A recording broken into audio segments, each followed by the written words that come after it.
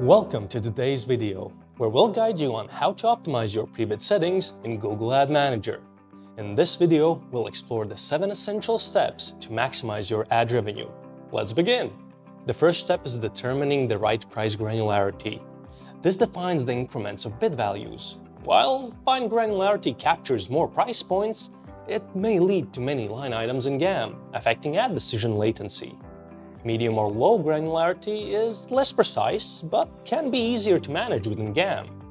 Bidders may be willing to pay more for certain impressions, but if your price buckets are too wide, you might be leaving money on the table by not accurately reflecting the value of those impressions. Striking a balance between granularity and efficiency is crucial for Prebid optimization. Moving on to step 2. Let's talk about optimal timeouts. Timeout settings determine how long Prebid waits for bidders before sending the winning bid to GAM. Timeouts are usually set between 400 and 3000 milliseconds, depending on the website speed, ad unit layouts, visitor behavior, and other key attributes. Short timeouts improve user experience, but can miss higher bids. Long timeouts, on the other hand, may bring more bids, but delay ad loading. Now moving on to step 3, let's cover line item management. You should prioritize line items by using GAM's price priority settings.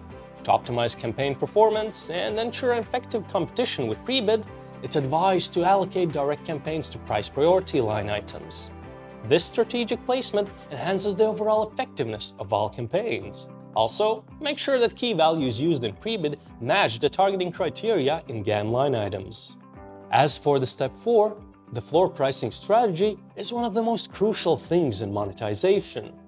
Implement dynamic floor prices based on past bid data.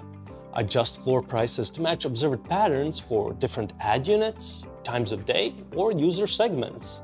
Regularly testing different floor price strategies is a recommended practice, especially as seasonality, advertiser, and user behavior changes.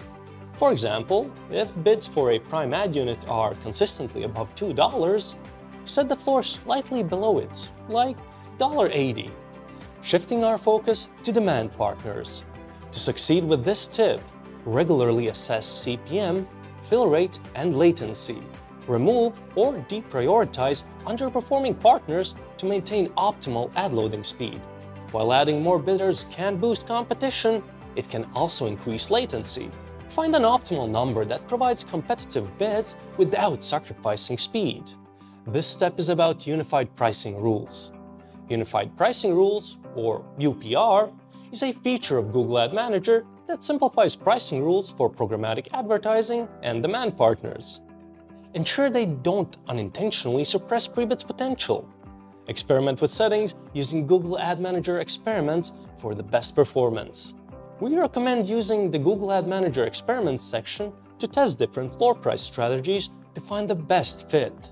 These should be done on a regular basis as seasonality, advertiser, and user behavior changes.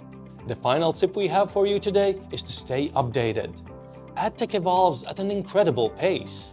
Stay informed about the latest Prebid.js versions, new features, adapters, or optimization techniques. That concludes our guide on optimizing Prebid settings in GAM. Setupad is a trusted monetization partner that can assist with all of the above optimizations. Our skilled ad ops specialists are Google certified and equipped with all the necessary industry knowledge. Don't forget to stay tuned for more tips and updates. Happy optimizing!